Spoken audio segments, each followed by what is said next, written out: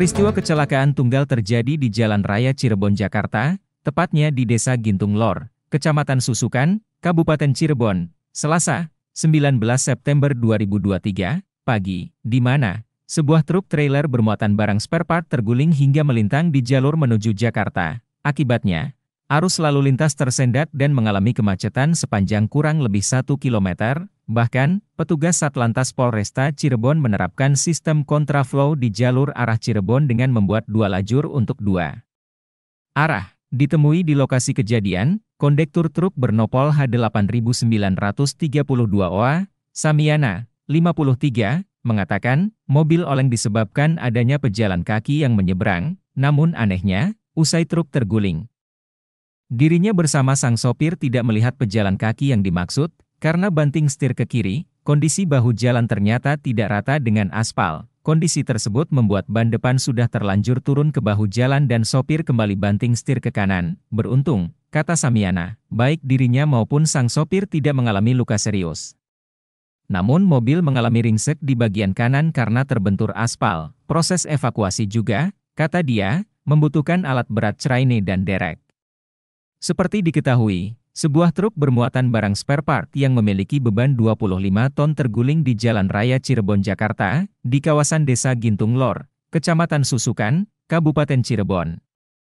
Selasa, 19 September 2023. Akibatnya, truk melintang di jalur menuju Jakarta, Kasubnit Igakum Satlantas Polresta Cirebon, Ibtu Mei Hadi Kusuma mengatakan, peristiwa itu terjadi sekitar pukul 5.20 WIB atau setelah subuh. Ia menyampaikan, Truk bernopol H8932W itu dikemudian oleh warga Sleman, Yogyakarta. Kejadian bermula saat truk melintas di Jalan Raya Cirebon, Jakarta dari arah Jawa Tengah menuju Jakarta, tepatnya di Desa Gintung Lor, Kecamatan Susukan, tepat berada di lokasi kejadian.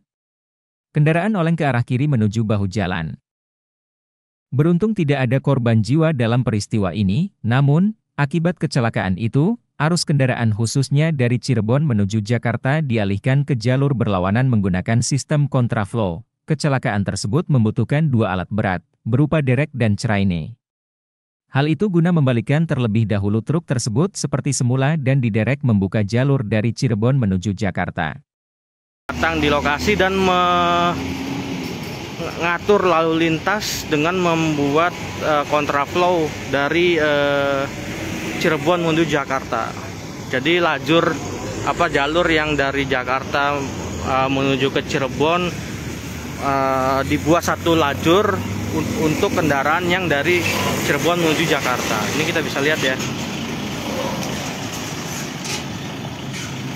Uh, bagi tribuners yang hendak melintas di sini uh, harap berhati-hati karena kendaraan didominasi dengan truk-truk besar sehingga perlunya kewaspadaan untuk uh, menghindari adanya kecelakaan lalu lintas uh, lainnya.